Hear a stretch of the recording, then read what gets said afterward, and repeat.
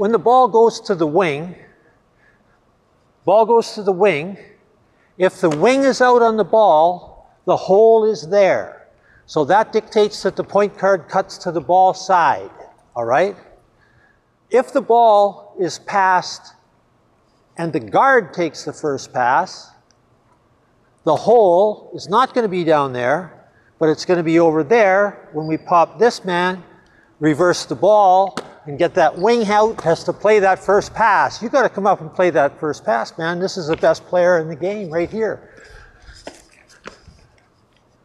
He's got the ball, and we're two on one on this guy, right? He had a naked shot. He had to wait till this guy bumped him down. You have to play that, which frees up this guy in the corner.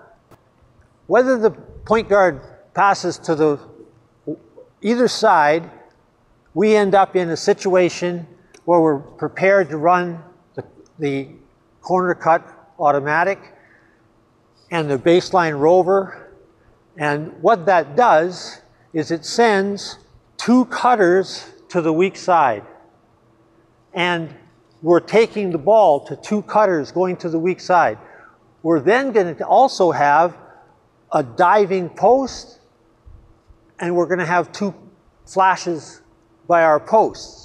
So it's an excellent situation to attack any zone. On the corner cut automatic, when the ball is passed and we make our cut, that's a scoring cut. It's the only time that the high post, the high post fill cuts to the wing. Okay? And he would have fill cut if he came from the low, from the weak side high, he still would have come here and, and uh, fill cut.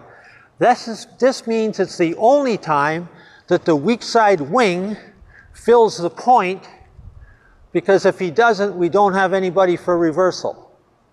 When we have the ball in the wing and the, and the corner filled, we're in a perfect situation now to, we're going to run two cutters to the weak side and we're going to swing the ball and attack on the weak side, which is our uh, modus operandi with this uh, operation. So you make your pass, you cut, high post fills. This is the only time that this man's coming to the point. He passes. There's our first cutter.